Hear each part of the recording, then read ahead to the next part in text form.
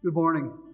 Welcome to the third Sunday of Easter in this resurrection life that we have while we're here on this earth in God's wonderful and unimaginable grace that He's bestowed on us through the death and resurrection of Jesus Christ.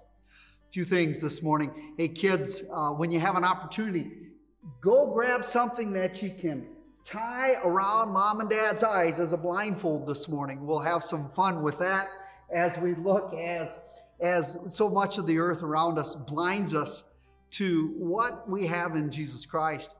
Second of all, uh, the other thing that we want to look at, many of our students in confirmation I, I get to take sermon notes. Uh, some of you have been uh, trying to do that. Make it easy on you. Either call the office and they'll have some printed up for you, or have them email the form to you, and that way you can stay on top of, of the sermon notes that you, you'll be taking. And then finally, as we continue this wonderful opportunity in this digital age right now, as we've been recording our services for us that are unable to come into our, our buildings in a house of worship, one of the things that's been uh, really neat to be able to do because we can do this is we've hired somebody to come in and do our recording and our editing, and it's been doing a really nice job for us. And we, we appreciate Nate that he's come in and done this for us. But one of the things that we've been having with this is there is an expense with this as we put these um, services together. So, right now, on the average for us to produce this for our YouTube channel, it's around $250. Um, one of the things that has been so neat is there was an offering giving, an offering of thanksgiving above and beyond a tithe uh, to cover the end of March and all of April. Now, starting in May, um, we'll have another opportunity for an offering giving. So, if you'd like to be connected to that, just include that in your general offering that you send here to the church. Uh, as you carry out your tithes and your offerings that God blesses you with to carry out His mission and ministry here at Trinity and throughout the world, just send them to P.O. Box J here in New York Mills, 56567. And then also, you're always welcome to drop them off. Somebody from the office will be glad to pick them up at the door from you. As always, our Lord Jesus Christ blesses us and provides for us in unbelievable abundance. And we praise Him for that as we get to carry out His good news of Jesus Christ to a dead and dying world.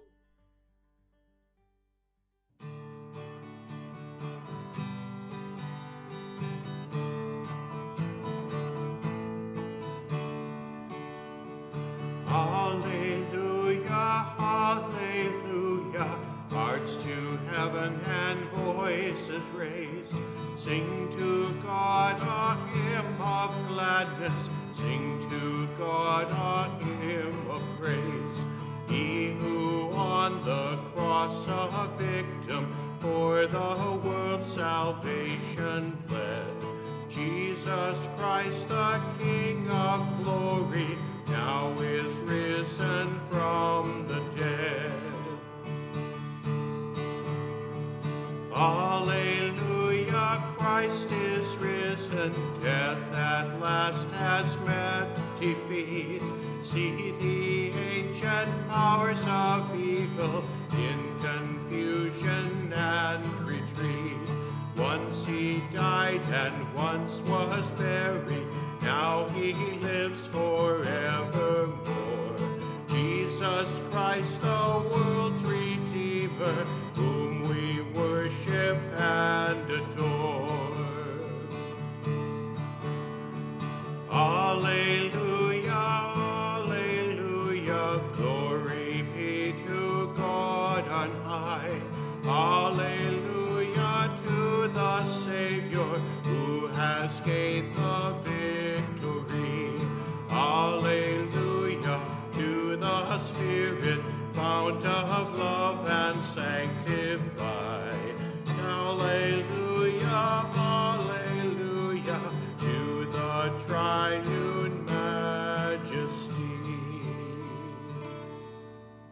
Now, this morning, as God's redeemed children, as we have this resurrection life while we're here on this earth, we're reminded who we are and how we got there in our very baptisms.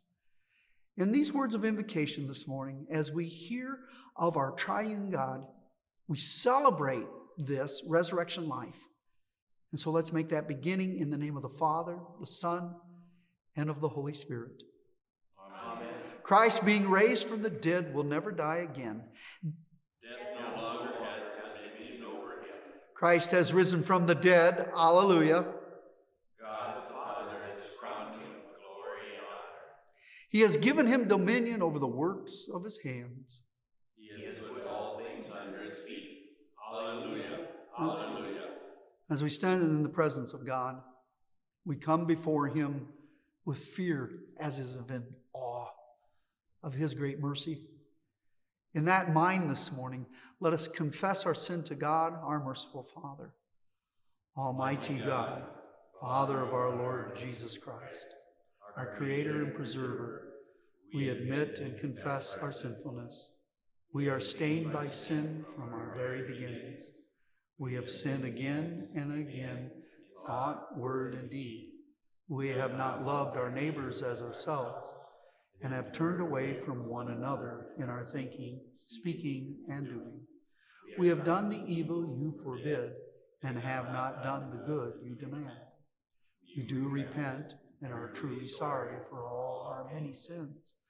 Have mercy on us, gracious Father. Forgive us for all that is past, and by the power of the Holy Spirit, direct our lives so that we serve you in the true faithfulness. Grant us victory over all that oppresses us, and build your kingdom among us here and through Jesus Christ our Lord.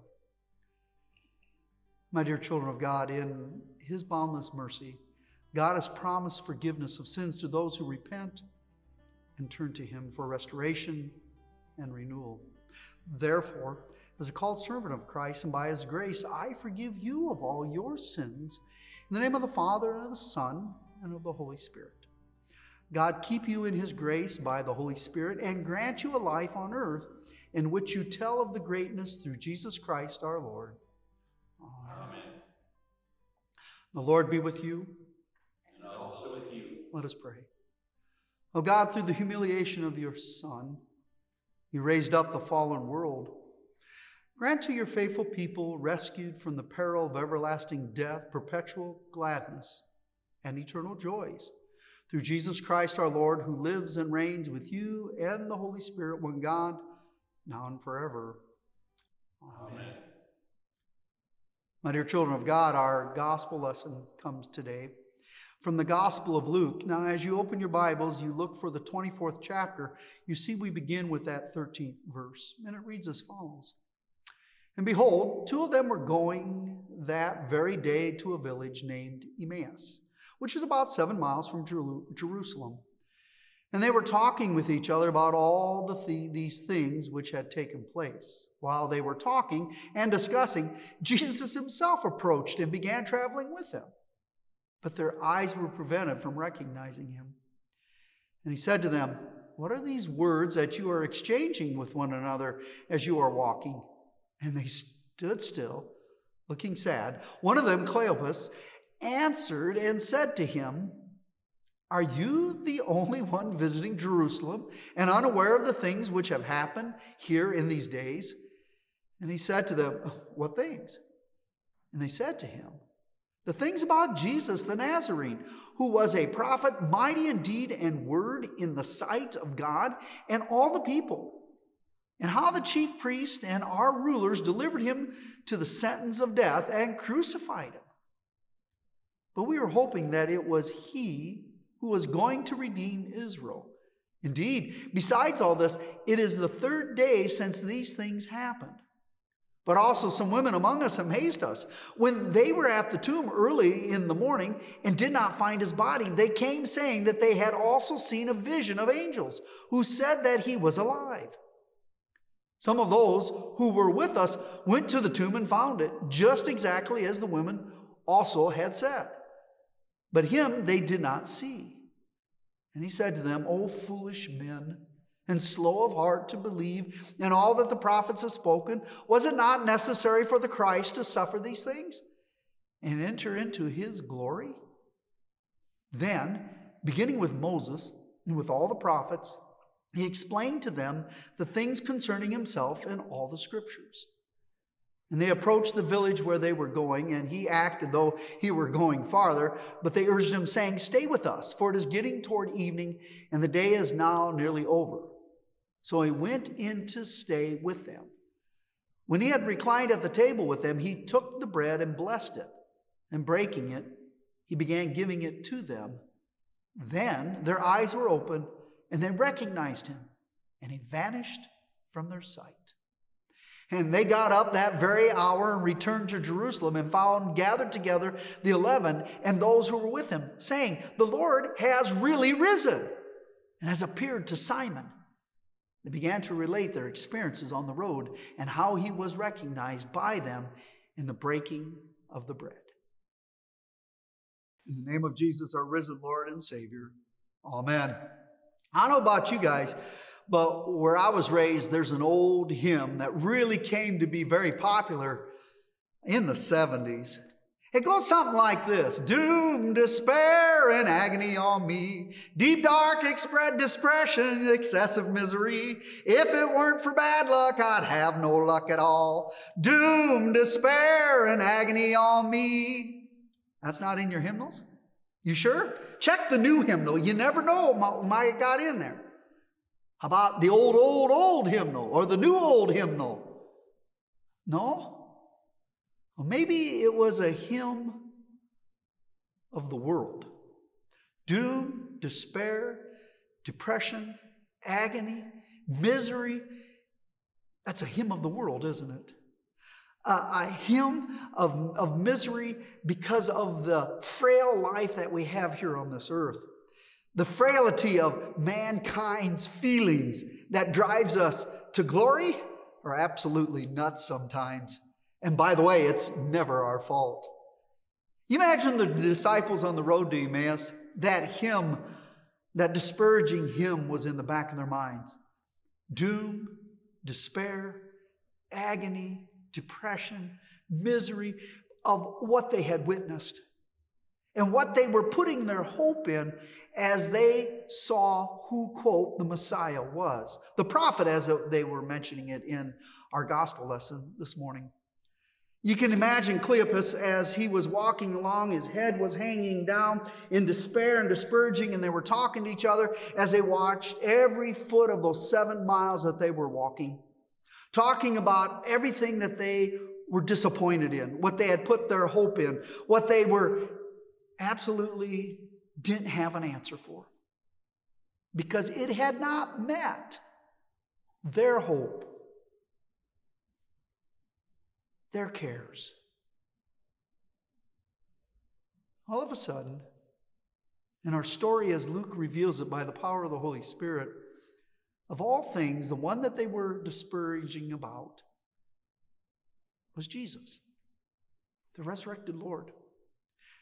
I've always wondered as, as he all of a sudden shows up, I mean, it wasn't uncommon in the Middle East to have those kind of things happen, is to have somebody all of a sudden come along and walk with you the distance that they were going. How did he hide the nail pierced hands? Did he keep his cloak down a little bit? How about, did his sandals cover maybe the way his sandal was? It covered the hole in his feet? And what about the scars up on his brow? Did he put his hair down a little bit? Whatever it was, the disciples, Cleopas and his buddy, were kept from seeing who Jesus was. And pretty, pretty well because of their hang, head hanging low. It probably didn't take much to keep them from seeing their Messiah. You kind of giggle it's almost like, duh, when they answered Jesus saying, Where you been? Under a rock? How can you not know all that's been going on? Everything that had happened. You got to remember the disciples and everybody around at the death of Jesus on the cross heard the earthquake. They knew the temple curtain was, was ripped open. They knew, they, they heard and they saw the rising of the dead as they walked around. They heard it was finished.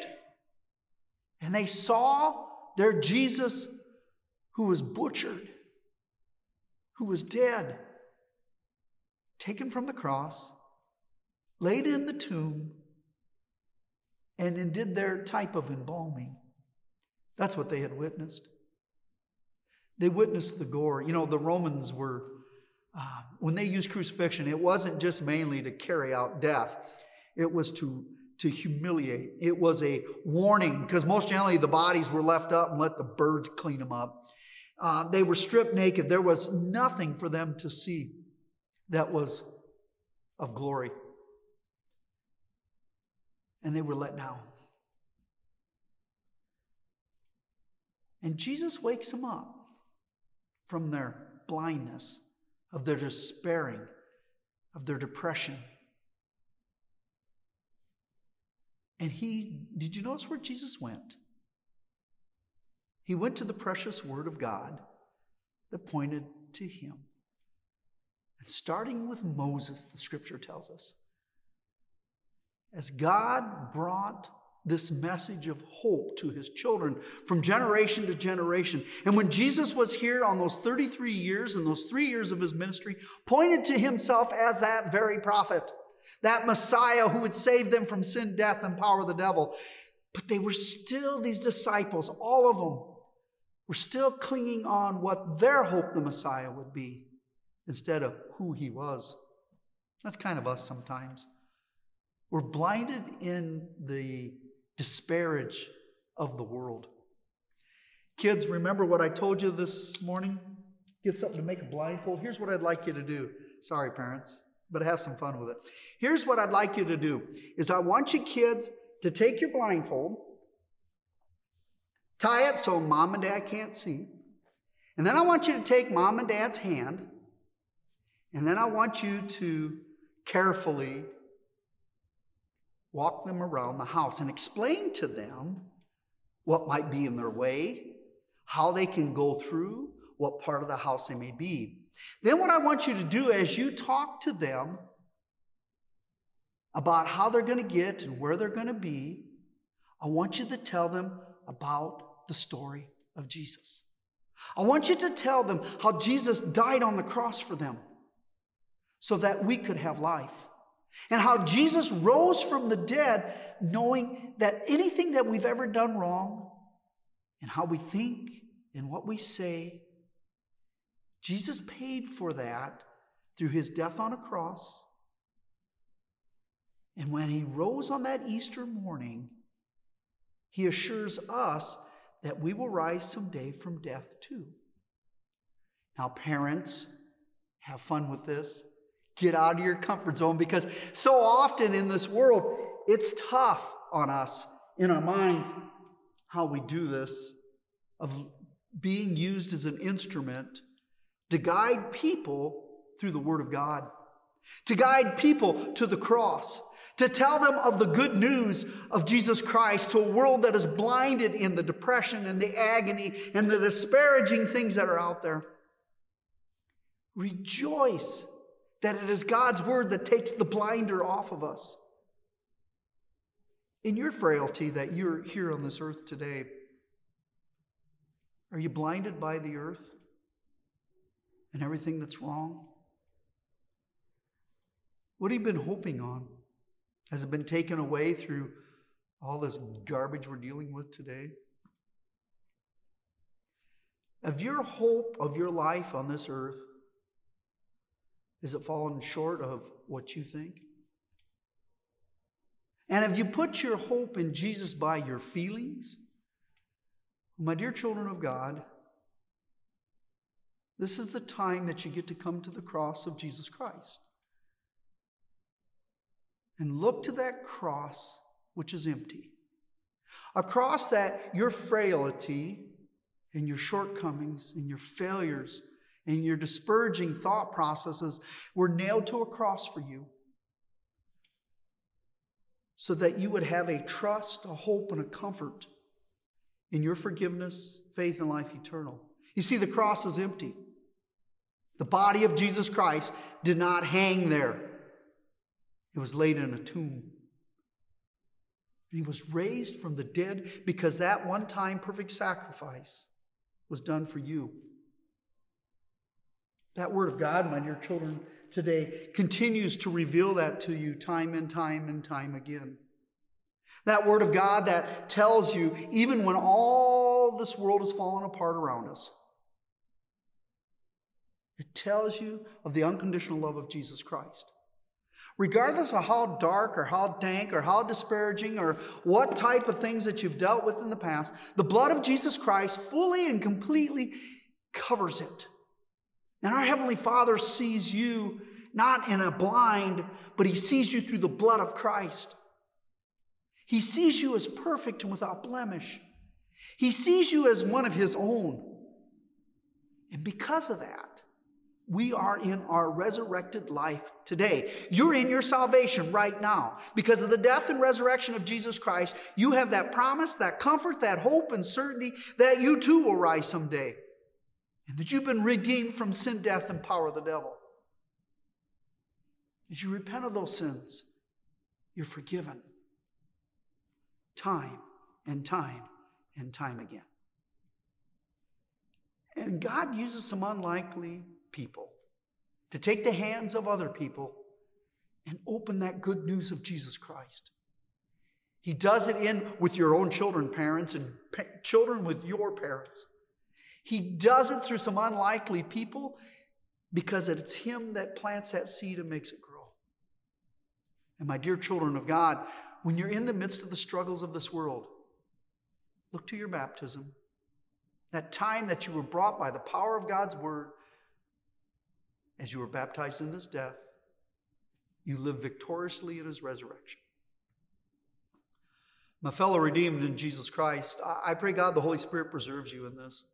In the midst of all the trials and tribulations of this world, we glorify Jesus Christ, who's with us always, even to the end of the age. And we look forward to what's next. Because, my dear children, God's equipped us for today, and He'll equip us for tomorrow, and He'll equip us for the next day until the day that we see Him face to face for eternity. That comes to us in one way. His name is Jesus Christ. To Him we give this glory, this praise, and adoration.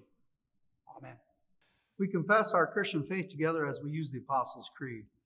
I believe in God the Father Almighty, maker of heaven and earth and in Jesus Christ, his only Son, our Lord, who was conceived by the Holy Spirit, born of the Virgin Mary, suffered under Pontius Pilate, was crucified, died, and was buried. He descended into hell. The third day he rose again from the dead. He ascended into heaven and sits at the right hand of God the Father Almighty. From thence he will come to judge the living and the dead. I believe in the Holy Spirit, the holy Christian church the communion of saints, the forgiveness of sins, the resurrection of the body, and the life everlasting. Amen. We bring our prayers before our God. Let us pray for the whole people of God in Christ Jesus and for all people according to their needs. We pray for the whole church that the message of salvation joyfully be told throughout all the world and the Easter victory of Jesus Christ be celebrated around the globe. Lord, in your mercy. We pray for the nations of the world that the governments of all nations be a source of blessing to those who are governed and that oppression in all forms be hindered. Lord, in your mercy. We pray for ourselves in this season of the Lord's great victory that we be truly truly be Easter people all year long, radiating the light of Christ in our homes, workplaces and communities. Lord, in your mercy. We pray for all who serve us through their callings, especially for those who deal with special challenges or dangers on a regular basis, including police, fire, and emergency personnel. Also, remember at this time the military forces of our nation, those stations both at home and abroad, whose efforts serve to defend our nation in challenging times. Lord, in your mercy. We pray for those with special concerns and needs this day those who are hospitalized, those who grieve, the unemployed and underemployed, the chronically ill and shut in, and all others whose needs are not known to us at this time. Bless them with your presence, gracious Father, that they have a sense of victory in their lives and find strength and hope for each day, Lord, in your mercy. This morning and throughout this week, we hold up before you in prayer our Chip family.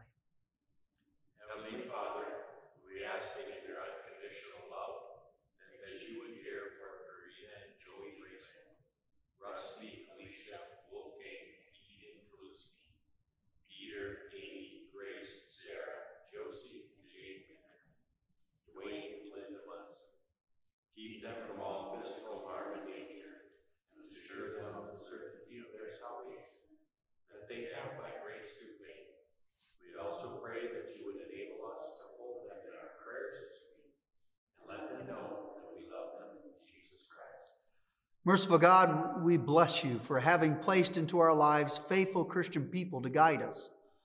On this day, we remember those no longer among us on earth who have completed their earthly races and have won the final victory in Christ. Lead us to follow in their way, that we rejoice together eternally at your table and in your mansions. Lord, in your mercy. Hear our prayer. Amen. Taught by our Lord and trusting his promises, we are bold to pray.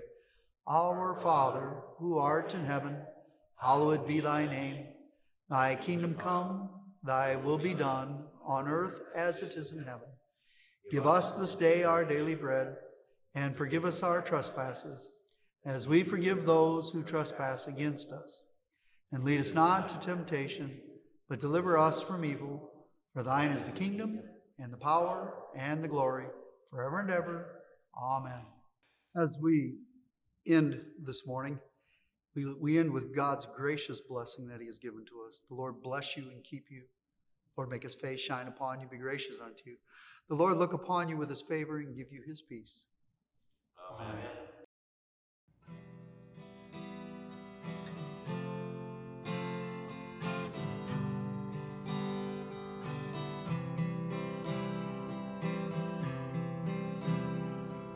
we leave this place of worship here today, Help us share the love of Christ, the truth, the way.